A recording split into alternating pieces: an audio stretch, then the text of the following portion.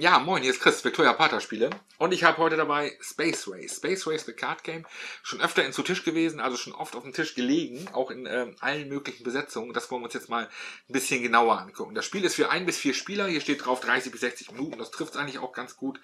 Und äh, ab 13 Jahren, ja, das ist auch, war denn ganz so äh, leicht äh, ist es denn doch nicht. Ähm, und Autor, da muss ich nachgucken. Also auf jeden Fall äh, Marek Loskot ist und Jan äh, Sukral, Sukal sind die Autoren und der Illustrator. Und ich finde der Illustrator, also bei so diesem Spiel sollte der wirklich mal genannt werden. Das ist äh, Dalibor Kirch. Ich zeige euch da gleich mal ein paar Karten, denn das, was hier äh, an Illustrationen drin steckt, das ist einfach der, der helle Wahnsinn. Das Spiel ist wunder, wunderschön. Und ähm, ja, das Thema hat mich natürlich sofort gelockt. Space Race äh, assoziiere ich sofort irgendwie so ein bisschen Twilight Struggle, diesen Space Race Track, bin dann kopfmäßig schon irgendwie so ein bisschen im Kalten Krieg angelangt. Ganz so ist es jetzt nicht. Ähm, aber ich habe eben gehofft, dass es genauso thematisch hier zugeht, denn letztendlich äh, bauen wir hier aus Karten unseren Space Race Track und äh, versuchen eben als erfolgreichste Agency ähm, eben äh, ja, ins All zu kommen. Wie das Ganze funktioniert, gucken wir uns jetzt an und wie es uns äh, gefällt, darüber unterhalten wir uns danach. So, hier sehen wir die Komponenten von Space Race. Es ist ein Kartenspiel. Letztendlich, ähm, das, äh, was drin ist, sind Karten. Ich zeige aber jetzt hier einfach mal so ein paar äh, Karten und Komponenten, weil es einfach äh, zum Beispiel schick ist. Also allein schon die, das hier sind die unterschiedlichen Spielerfarben. Da hat jeder so einen Satz von zwölf Karten. Und dann da sind die, die Rückseiten. Ich halte die mal hier so ein bisschen dichter. Echt, also schon wunderschön gestaltet. Und ebenso auch die Vorderseiten sind wunderbar. Und ich habe in diesen zwölf Karten unterschiedliche Aktionsmöglichkeiten, wie zum Beispiel Propaganda da habe ich also, die habe ich in drei Stärken. 1, 3 und 6. Und wenn ich die mal nebeneinander lege, dann ist es so, dass je stärker die Karte wird, äh, das erkennt man auch auf dem Motiv des Bildes. Finde ich sehr schön. Also hier sitzt der Typ alleine in der Bahn. Einer dabei, zwei dabei. Genauso ist es, äh, wenn ich hier das Space Program nehme. Space Program Level 1. Startet das gerade. Ne? Space Program Level 3. Gerade durch die Wolken durchgebrochen. Space Program Level 6 durch die Decke Wunderbar, absolut toll. Das, also, sowas sorgt bei mir schon für eine Menge Stimmung im Grunde im Spiel. Ja, da habe ich äh, identische Kartensätze für jeden Spieler ein, sucht man sich aus. Ich nehme jetzt einfach mal den schwarzen hier und lege die anderen mal wieder zur Seite. Ja, dann habe ich hier also noch diverse Übersichtskarten. Auch für Solo-Game sind äh, Übersichtskarten dabei, aber zum Solo-Game kann ich wie immer oder wie so oft äh, nichts sagen, da nicht gespielt. Ne? So, so sind sie richtig drin. Ne? Da haben wir sie noch zweiseitig. Also man hat da äh, auf jeden Fall eine Menge Übersicht und die sind eigentlich auch sehr gut gemacht, muss ich sagen. Also die, die helfen schon gewaltig beim Spiel. Des Weiteren habe ich viele, viele andere Karten, die mich hier im Spiel voranbringen oder auch nicht, je nachdem, äh, was kommt. Denn natürlich, wir haben hier einen Kartenstapel, den ich natürlich schon ein bisschen manipulieren kann, aber ein Kartenstapel ist halt, wie gesagt, ein Kartenstapel. Ne? So, es läuft folgendermaßen. In meinem Zug spiele ich eine dieser Aktionskarten, die ihr gerade gesehen habt, mit der unterschiedlichen Stärke aus. Wir brauchen dafür allerdings eine Auslage, damit, wir diese, damit das Ganze für uns eben auch Sinn macht. Mit vier Spielern werden vier Karten offen ausgelegt. Das ist jetzt einfach das erste. Jetzt haben wir hier einmal den, den oh, machen wir so, dass es auch gut zu sehen ist. Hier den Lang, äh, Lunar Cod oder Hot, Lunar Apollo Program, dann wir die Vostok, das Vostok Program oder das Vostok Program und ein Space Shuttle. Ja, das sind jetzt erstmal äh, sehr viele Space Program Karten, die legen wir ein bisschen in die Mitte. Und diese Karten machen zum Anfang unser Universe aus. Ja, und aus diesem Universe beziehen alle Spieler ihre Karten. Zwei Karten werden verdeckt dazugelegt. So. Ja, die werden gleich erst aufgedeckt, wenn jeder sich schon positioniert hat, was er macht äh, in der Runde, worauf er sich stürzen möchte. Dann werden diese Karten aufgedeckt, werden dazu sortiert und ähm, symbolisieren eben äh, so diesen unerforschten Teil des Alls, ne? was eben so alles passieren kann, so ein bisschen. Jetzt wird, wird das Ganze noch nach Sorte sortiert und auch nach Reihenfolge und so ist es jetzt erstmal. Jetzt bekommt noch jeder Spieler Karten. Der Startspieler, ich würde sagen, ich nehme einfach mal diese Rakete. Habe ich glaube ich noch gar nicht gezeigt, die Rakete. Also ich muss hier einmal nochmal. Das ist wirklich, äh, das Ding ist ein Hammer. Ja, diese Rakete. Allein fand ich schon wirklich, na, so, genial. Da ist sie.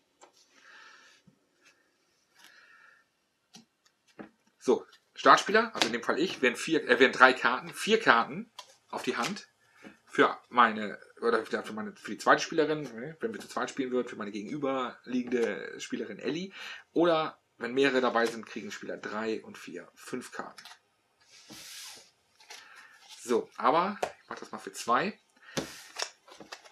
Was ich im Übrigen, das kann ich ja schon mal ruhig vorwegnehmen, auch äh, für die ideale Spielerzahl halte. Aber gut. Ähm, so eine Karte hier, die ist ganz gut, um mal den Zugablauf zu erklären. Hier habe ich sämtliche Stränge drauf, nämlich Propaganda, Technologie, Space Program und Breakthroughs. Das sind die unterschiedlichen Sorten, die es gibt. Zu welchem Gebiet eine Karte im Allgemeinen gehört, wenn man sie dann vom, äh, aus der Auslage haben möchte, steht hier oben. Das heißt, ich muss äh, irgendwie eine Chance haben, Technology Cards zu nehmen, um diese Karte hier zu nehmen. Das ist also praktisch äh, gleichbedeutend mit diesem hier. Auch wenn sie für alle Stränge zuständig ist, nehmen kann ich es nur mit Technology. Das ist äh, auf jeden Fall eine Sache, die ich wissen muss. Das sind, wie gesagt, Karten, die ich auf der Hand habe. Die sind erstmal jetzt noch nicht relevant. So, jetzt muss ich gucken, was habe ich hier liegen. Möchte ich äh, ein Space Shuttle äh, haben in meiner Auslage mit zwei Strängen oder möchte ich lieber hier so ein, ein, ein Lunarcod oder das Apollo Program oder, oder, oder. Das sind alles Karten übrigens mit Sternchenfähigkeiten. Und hier unten auf den Karten steht immer drauf, was sie dann eben machen. Das war Stock Program zum Beispiel. Ähm, man kann aus der Hand eine Karte ins Labor legen, zufällig. Und wenn das eine Propagandakarte ist, die man da ablegt, äh, dann kann man die sogar in die Agency legen. Ja, das ist ein gutes Stichwort. Labor und Agency sind zwei Punkte, wo ich meine Karten hier vorne auslege. Und zwar habe ich zum einen ein Labor, da kommen Karten verdeckt rein. So.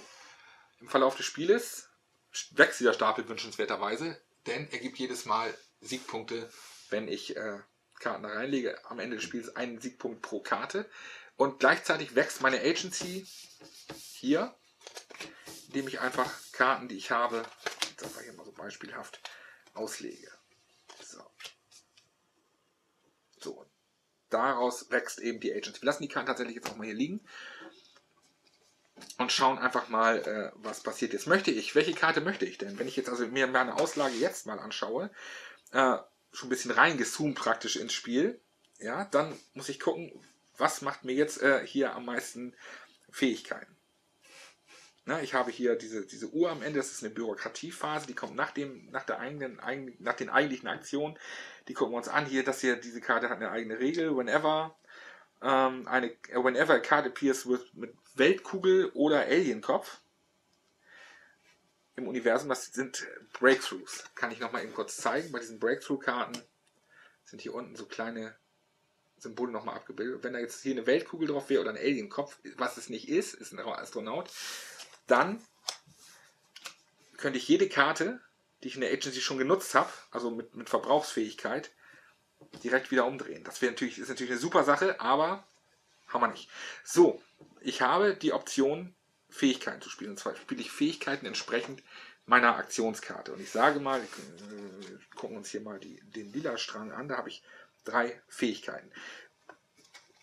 Für den lila Strang müsste ich das Base Program spielen. So, und da liegen drei Karten, die mir vielleicht alle in den Kram passen würden, sage ich mal. Und deswegen würde ich jetzt das Base Program auf Level 1 spielen. Nicht auf Level 3 und nicht auf Level 6, sondern auf Level 1. Zusammengezählt bin ich aber sowieso hier auf Level 1, 2, 3, 4. Das heißt, würde mein Gegenüber jetzt auch Space Program spielen wollen, müsste er schon eine 5 dahinlegen an Wert, zumindest aber auch die 6 natürlich, äh, um vor mir dran zu sein. Das heißt, würde er nur auf einen Wert von, von weniger als 4 kommen, könnte ich mir sowieso als erstes aussuchen, welche Karte ich nehme. Würden mehrere Spieler teilnehmen, sagen wir mal so, und mehrere Spieler äh, haben unter, entscheiden sich für unterschiedliche äh, Auslegungen, also unterschiedliche Aktionen, Auslegung, Quatsch, ähm, dann wird in dieser Reihenfolge abgespielt, so wie es eben auf den Karten immer aufgedruckt ist. Erst Propaganda, Technology, Space Program, Breakthrough. Ja, das heißt, das ist, würde gleichzeitig die Spielerreihenfolge bestimmen. So, ich habe mich aber für Space Program entschieden.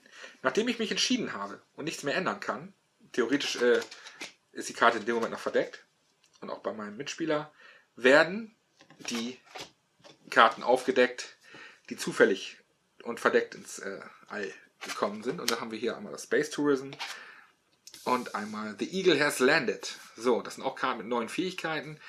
Äh, hier sehen wir auch so eine Uhr drauf wieder. Die hatte ich vorhin schon mal angesprochen. Diese Uhr ist eben eine Bürokratiefähigkeit.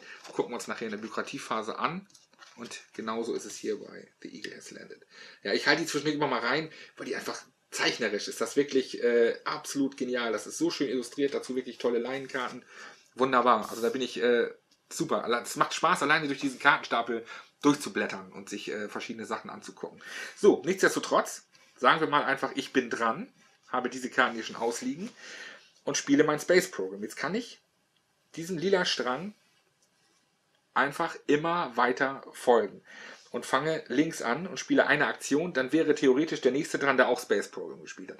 Das ist eine Sache, äh, die macht es oft ein bisschen äh, zwirbelig, ähm, weil man seine Aktion abwechselnd spielt, aber wiederum auch nicht, wenn man unter, in unterschiedlichen Strängen unterwegs ist. Ne? Also das macht es so ein bisschen, ja, ein bisschen verquer. Kam uns jedenfalls öfter mal so vor. Aber wir fangen einfach jetzt mal an und folgendermaßen. Ich lege die mal hier in die Mitte.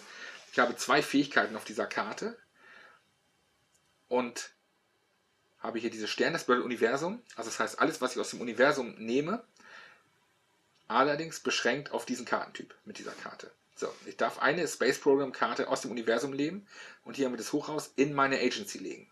Das ist die erste Fähigkeit, die diese Karte hat. Die zweite Fähigkeit, die diese Karte hat, ich muss mir das auch nicht aussuchen, die kann beide, dafür habe ich auch nur eine 1 gespielt.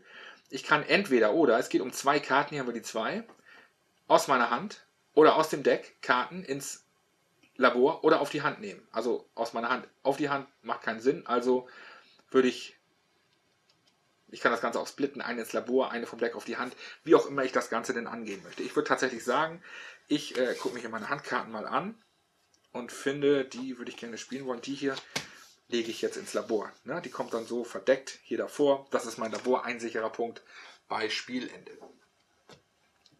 So, des Weiteren habe ich noch die Option, eine Karte auf der, aus dem Deck auf die Hand zu nehmen. Das tue ich, um mein Deck einfach mal wieder ein bisschen aufzufüllen. Ich habe hier die Moon Speech von, vom Herrn Kennedy. Ja, eine Propaganda-Action. Natürlich. So.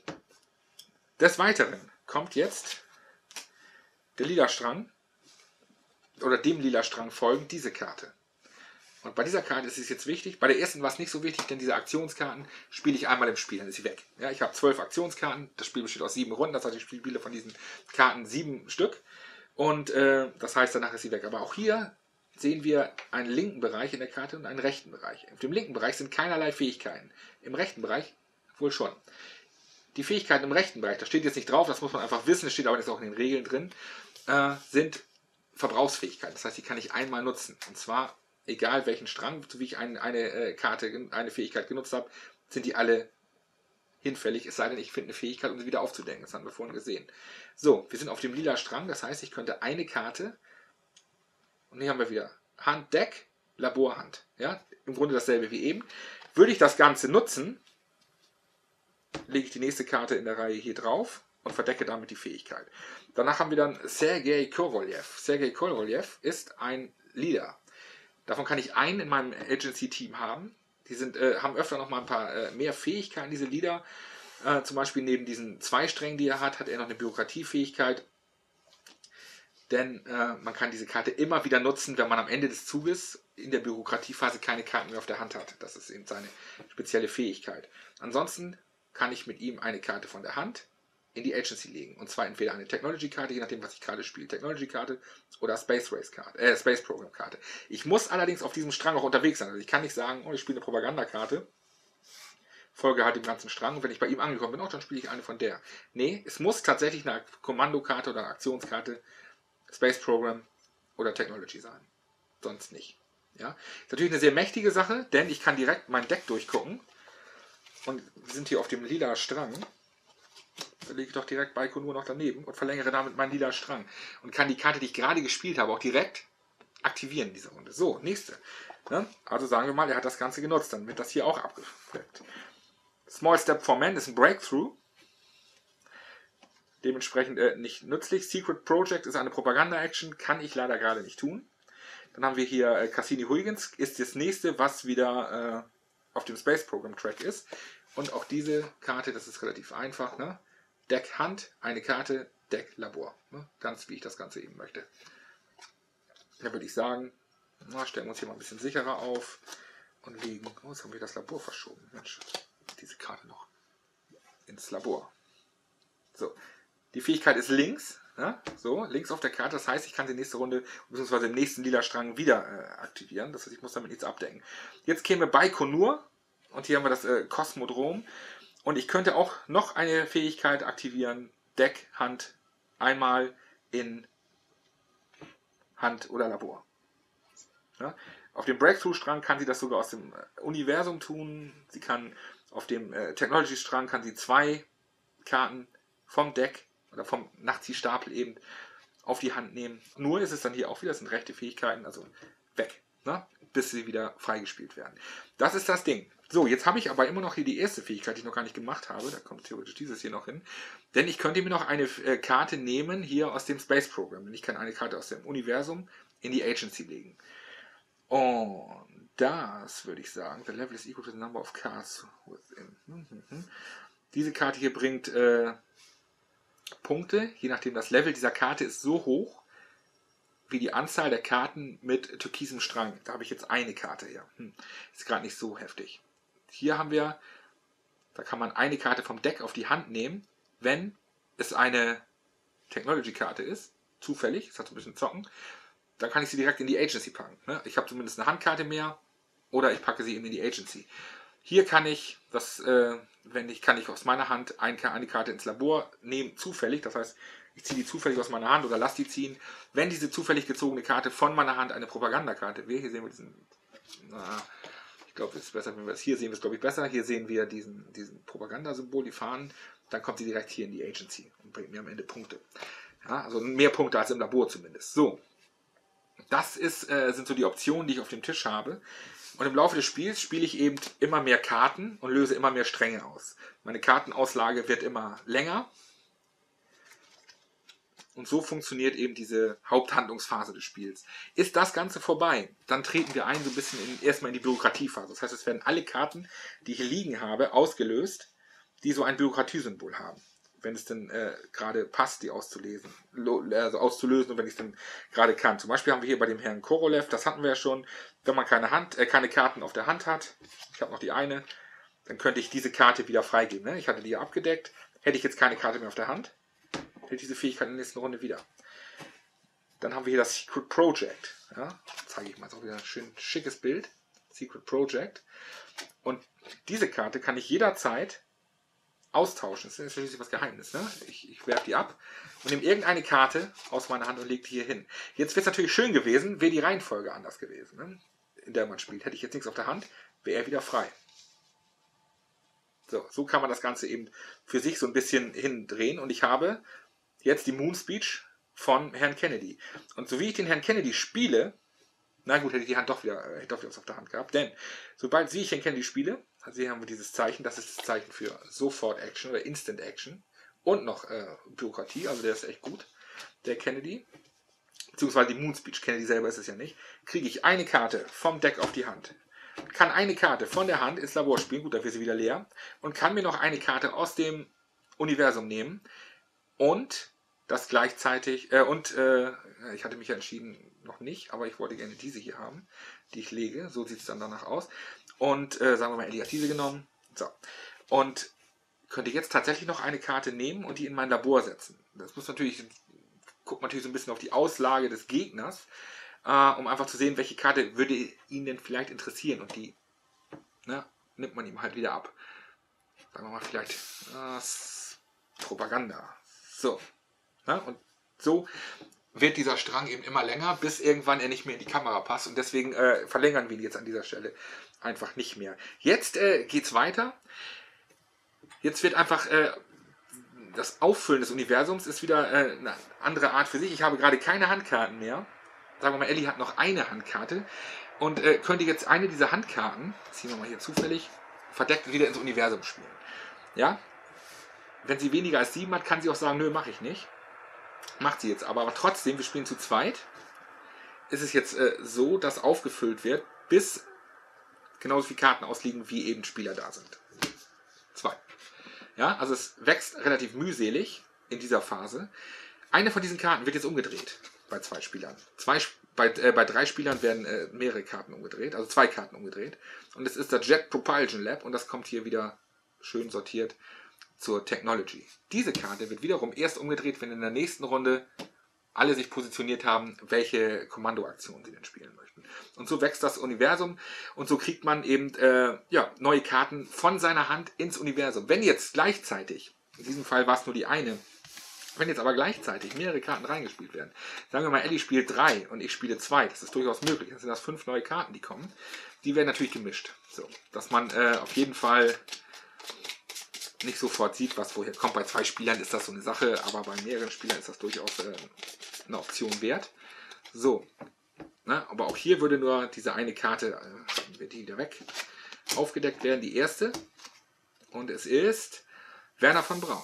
Werner von Braun, seines Zeichens Anführer und ähm,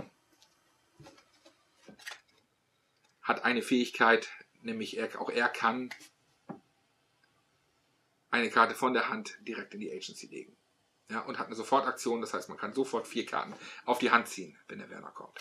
So, alle anderen werden dann aufgedeckt, die mal zur Seite, alle anderen werden dann aufgedeckt, wenn es soweit ist, dass alle für sich festgelegt haben, was sie denn machen möchten in dieser Runde. Dann haben wir die Viking One, Mars Orbiter, auch ein sehr schönes Bild, das ist so richtig Comic. Und äh, dann haben wir hier die Saturn 5, die kommt hier hin. So, hier haben wir äh, Neil Armstrong, auch ein Anführer. Und wir haben das Space Shuttle. Es kommen absolut keine Breakthroughs, ne? nur diese eine. So, und so geht das Spiel eben dann äh, über sieben Runden. Und am Ende des Spiels werden Punkte gezählt. Punkte gezählt werden für Karten in der Auslage. Und zwar alle Punkte, minus natürlich äh, Kommandokarten, ähm, die auf diesen Karten aufgedruckt sind. Das heißt, also bei Konur allein sind schon vier Punkte.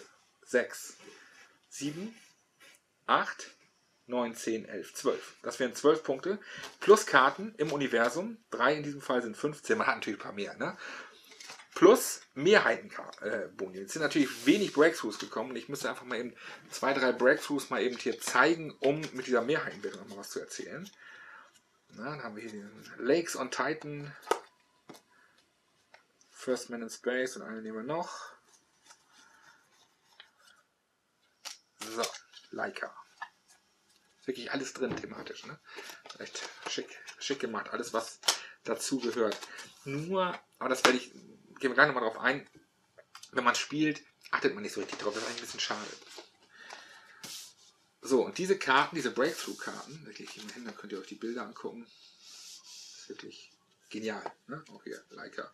Wirklich äh, toll gemacht. Die haben alle eben diese Symbole. Jetzt habe ich hier drei Astronauten und einmal den Alien. Am Ende des Spiels wird neben dieser Punktewertung, die ich eben erläutert habe, noch geguckt, wer die Mehrheit hat bei diesen Breakthroughs. Wer also jetzt diese drei Breakthroughs ausgespielt hat mit dem Astronauten, der hat eine relativ gute Chance, äh, die, die Mehrheit für den Breakthrough zu bekommen mit den Astronauten. Das sind sechs Punkte. Ja? Und äh, wenn diesen einen Alien hat und es ist kein anderer Alien vielleicht drin, sind das Ganze dann eben nochmal sechs Punkte. Also sind über diese Breakthroughs insgesamt nochmal 24 Punkte äh, zu verteilen, wenn sie denn kommen. Es kann natürlich auch sein, dass keiner Breakthrough-Karten großartig hat und dementsprechend werden sie eben noch nicht verteilt. Aber wie gesagt, die Option besteht. Ja, und wer dann die meisten Punkte hat, hat das Space Race gewonnen und ist mit seiner Agency am glorreichsten entwickelt und von der Erde weggekommen. Ja, neben der Solo-Variante, die das Spiel noch bietet, gibt es noch eine andere Scoring-Variante, das ist die Cold War-Variante. Und da wird nochmal zusätzlich geguckt, ähm, extra Punkte einzuheimsen über, äh, einfach darüber, dass der Gegner einen bestimmten Beziehung schlechter ist. Ne? Da haben wir eben diesen kalten Krieg-Effekt äh, nochmal dabei, dass man halt auch zusieht, dass man einfach den anderen nochmal ein bisschen übertrumpft. Das war Space Race, äh, The Card Game. Und äh, ja, zum Fazit sehen wir uns dann gleich hier wieder. Ja, das war Space Race, The Card Game. Ich hoffe, ihr konntet da jetzt so einigermaßen hinterher steigen. Ich hatte ähm, eine Sache, die hatte ich öfter bei dem Spiel, dass ich so ein bisschen ein Problem hatte, ähm, das einigermaßen straight zu erklären. Es mag so ein bisschen dieser etwas fiddeligen Abfolge liegen, dass eben, ähm, wenn sich zwei Spieler, also das fand ich immer sehr, sehr irreführend hier und da, wenn sich zwei Spieler auf die gleichen Stränge oder mehrere Spieler auf die gleichen Stränge konzentrieren, geht es eben nach den ähm, Zahlen und die spielen dann auch wiederum äh, abwechselnd. Wenn es auf unterschiedlich ist, dann spielt man nach der Taktung der, Stränge, der Stränge, also fängt mit Propaganda an und geht dann abwärts. Das fand ich oftmals ein bisschen ähm, verwirrend. Aber Gut, das ist äh, vielleicht persönliches Empfinden. Ich fand es teilweise ein bisschen dadurch ein bisschen, ein bisschen verwirrend, einfach äh, zu spielen. Was der Hammer ist bei diesem Spiel, das ist wirklich äh, absolut outstanding ähm, und, und jeden halben Zusatzpunkt, den wir immer für sowas vergeben, echt wert, ist äh, dieses, dieses Artwork. Ne? Dieses, das fängt äh, bei der Box an, das fängt bei den Karten an. Das äh, fängt natürlich aber auch bei der Ausstattung an. Leinenkarten, Holzrakete und dann alles äh, dieses in diesen wirklich passenden Foamcore-Inserts Wahnsinn. Ne? Also das ist, äh, sage ich mal, eine Ausstattung, äh, die sucht seinesgleichen und äh, ist allein schon ja, eine Augenweide. Ne? Und wenn man dann die Karten, ihr habt sie gesehen, zum Teil toll. Absolut toll. Dazu kommt, dass das Thema echt ein schönes ist. Also diese ähm, und, und, auch schöne Mechaniken mit sich bringt. Also dieses, dieses Deep Space, äh, sag ich mal, wo dann so umgedrehte Karten, die ich erst später äh, erforsche, beziehungsweise erst später rausbekomme, welche denn da liegen, nachdem ich mich eben schon positioniert habe in der Runde, was ich denn machen will und komm, ach, dann kommt doch die. Oder halt, ähm, dass ich durch diese, diese, diese, äh, die, diese Karten, die ich eben reinspiele, Deep Space mäßig, äh, so ein bisschen steuere, welche von meiner Hand denn da jetzt in die Auslage kommen, auf die spiele ich hin das ist eigentlich äh, eine ganz schöne Sache. Am Ende des Tages ist es sonst eine relativ reine Set-Collection. Ne? Ich nehme eine Karte, sortiere die ein hier in, meine, in meinen Strang oder lege sie ins Labor für sichere Punkte und äh, aktiviere dann diesen Strang und aktiviere die Fähigkeiten, die auf dem Strang sind und kriege so immer neue Karten einfach dazu. Ähm, sei es auf die Hand, sei es ins Labor, sei es in die, in die äh, Agency, je nachdem bei dieser ganzen Sache, so gut wie es funktioniert, bleibt so ein bisschen das Thema auf der Strecke, finde ich. Es ist äh, letztendlich, ähm, konzentriert sich das Spiel dann selber, man achtet nicht mehr so auf die Karten und wie sie denn thematisch einfach ähm, in die Aktionen passen, äh, die ich da mache. Denn das tun sie eben einfach auch nicht immer, weil die sind einfach, äh, die Aktionen, die so individuell wie die Karten gezeichnet sind, so ähm, ähnlich sind eben auch die Aktionen, die ich mit diesen Karten mache, oftmals. Ne? Wo es sich ein bisschen unterscheidet, sind eben so diese Bürokratie und diese Sofortaktionen, habt ihr gesehen, die bei der bei der Kennedy-Ansprache, die dann so ein bisschen, ja, die bringt dann so einen Schub nach vorne. Ähm, bei diesen anderen, na, der, nee, Kopolev, war das Kopolev? Und, ähm, nee, nee, das ist Kellov, ne? Kopolev war ein Schriftsteller.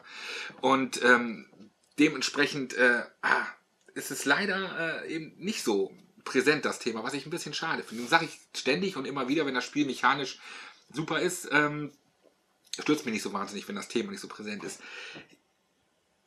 Ich finde es, na, ich finde es zum einen ein bisschen schade, was ein Thema, das ich sehr mag, äh, weil ich denke hier sofort weg, dieses Kammersee, äh, ein russischer Kosmonaut, Kennedy, haben sich sofort den Kalten Krieg vor Augen, den finde ich, der nun sehr präsent war in Spielen in, letzten, äh, in letzter Zeit und eigentlich immer, ja, gerne, gerne, gern gesehener Gast hier auf dem Spieltisch ist, bei mir zumindest. Und, ähm, aber wenn man jetzt also das Thema von diesem Spiel eben wegnimmt, bleibt eine relativ äh, reine Set-Collection über. Und ähm, da muss man dann wieder, sage ich mal, Set Collection Kartenspiel, reiner Kartenspiel-Fan sein oder großer Kartenspiel-Fan, sage ich mal, um, um zu sagen, yo, äh, absoluter Hammer, da ist mir der Mecha da ist mir das Thema jetzt gerade völlig wurscht.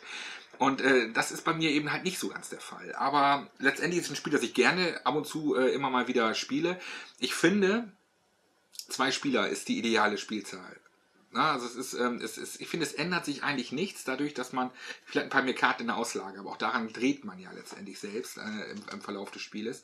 Und äh, ich hatte eigentlich so die besten Partien zu zweit. Und ähm, wo, wobei ich oft fand, dass Partien mit mehreren äh, Spielern das Ding oft nur in die Länge ziehen. Und es ist halt auch ein Spiel, das man relativ schnell runterzocken muss. So mehr oder weniger, weil es einfach auch äh, irgendwann dann aufhört zu tragen. Ne? Also es sollte wirklich schon eine Stunde steht drauf.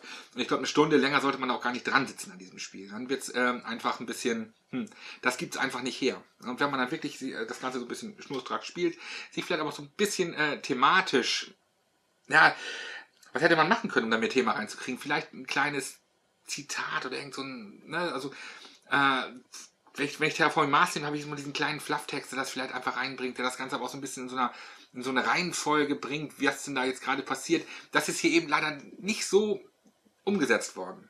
Und was, was ich total schade finde bei diesem Spiel. Absolut, absolut. Und so lande ich eben ähm, bei 6,5 Punkten, was aber natürlich immer noch äh, ein gutes Spiel ist. Das Spiel ist, äh, funktioniert wunderbar und äh, allein das Aussehen begeistert mich jedes Mal wieder und dementsprechend äh, ist das hier weiter von entfernt ein schlechtes Spiel zu sein.